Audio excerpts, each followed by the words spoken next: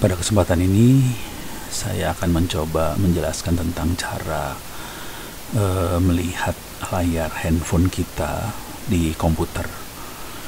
Ini biasanya dibutuhkan kalau kita ingin mempresentasikan sesuatu dari handphone ke LCD atau apa. Jadi caranya dari handphone tarik ke komputer, komputer ke LCD. E, cara yang paling gampang yang sering saya gunakan adalah menggunakan aplikasi di Play Store. Jadi kita bisa masuk ke Play Store-nya di Android. Play Store juga bisa dilihat di web. Jadi ini saya lagi melihat di web di komputer. E, aplikasi yang dipakai adalah Webcast. Eh salah bukan Webcast. E, Screencast Jadi kalau kita tahu broadcast itu biasanya di radio, webcast itu dari web, screencast dari layar. Ini ada banyak aplikasi screencast. Nih kita Simor banyak sekali nih screencast, bejibun screencast itu. Yang suka saya pakai yang paling atas ini kiri. Ini cukup oke okay. uh, kalau kita jalankan. Ini ini layar kita ini komputer ini kita bisa lihat di kalau kita aktifkan akan keluar seperti ini kita bisa milih mau pakai apa sambungannya bisa wifi mobile hotspot atau mobile data.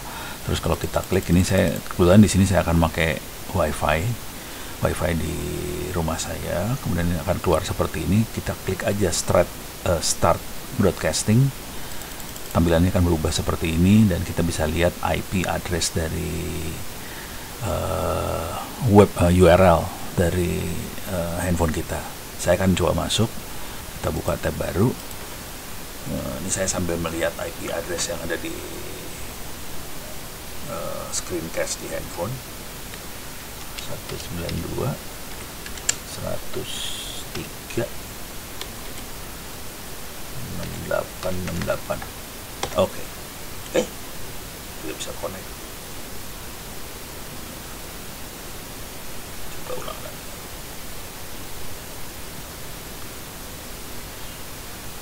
coba reload try again nah connect jadi sudah tersambung sekarang. Uh, saya kebetulan tidak menggunakan password jadi langsung kita bisa login. Uh, sekarang untuk selanjutnya ini nggak bisa diklik nggak bisa diapain cuma ngeliat aja. Jadi kalau selanjutnya operasionalnya dari handphone kita saja saya akan memilih home home-nya. Kelihatan eh kenapa nggak berubah ini oh. Harus gituin sih. Biasanya enggak. Uh, ini dari home kita bisa lihat. Uh, screencastnya ada di situ. Saya udah masukin kategori tool apa sih namanya? Oh bisa jalan kan? Saya masukin sekarang saya tadi saya masukin tool cool. Saya ini berapa kategori yang ada di uh, page saya. Kita juga bisa masuk ke Play Store di sini iya lo harus di reload ini kayaknya ada masalah di jaringan ini. Jadi harus di reload reload gini kalau ada masalah. Nah ini saya rubah posisinya dari apa sih namanya?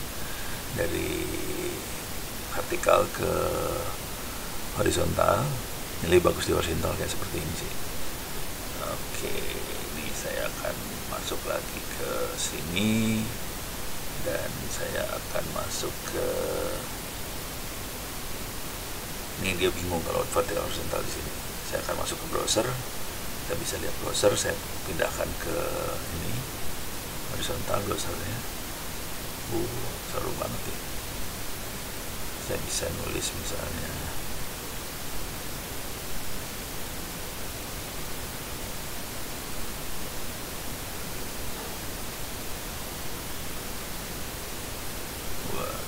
bisa masuk sih.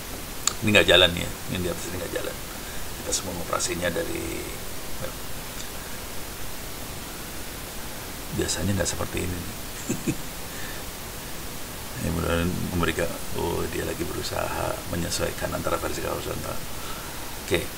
Tapi kira-kira demikian uh, mudah-mudahan bisa memberikan gambaran bagaimana caranya kita menarik layar dari handphone ke browser di laptop. Sekian.